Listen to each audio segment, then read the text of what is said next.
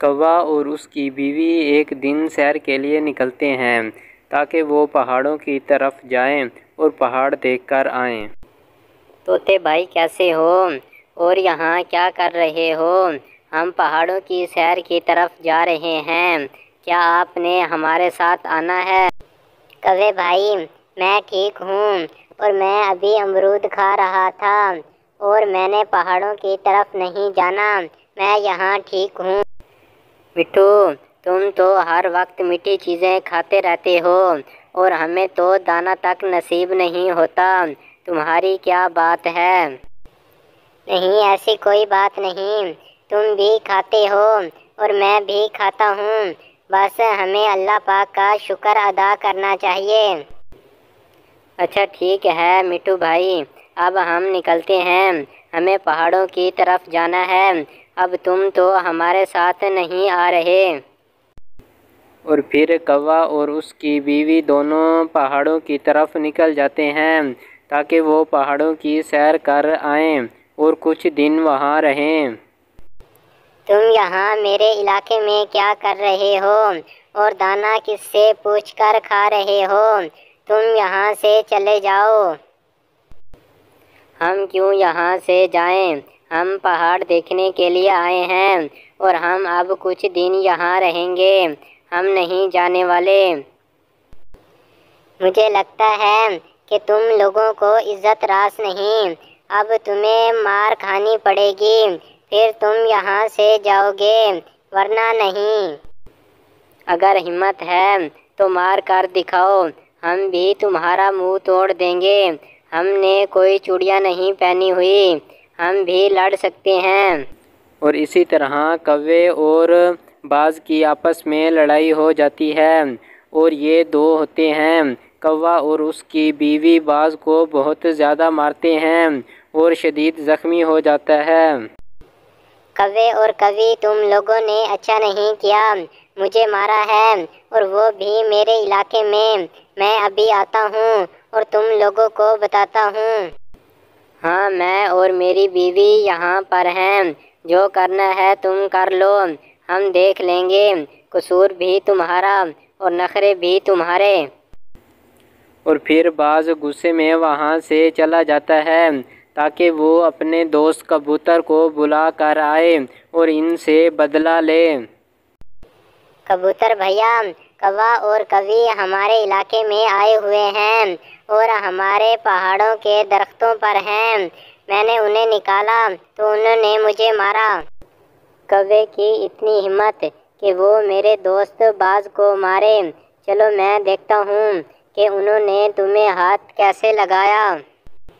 हाँ कबूतर भाई, अगर हम दोनों चलते हैं तो फिर उनकी खैर नहीं, हम उनकी तबीयत काफ़ी सेट कर देंगे। और यहाँ से भगा भी देंगे। ठीक है बाज भैया तुम परेशान ना हो।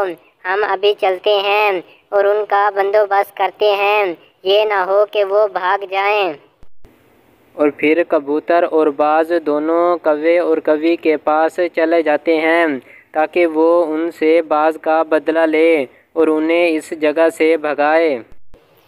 गंदी कवि मैंने तुम्हें कहा था कि मैं अभी आ रहा हूँ और तुमसे बदला लूँगा। लो, मैं अब आ गया।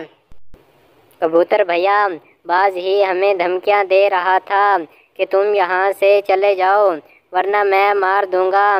इसीलिए हमने मारा।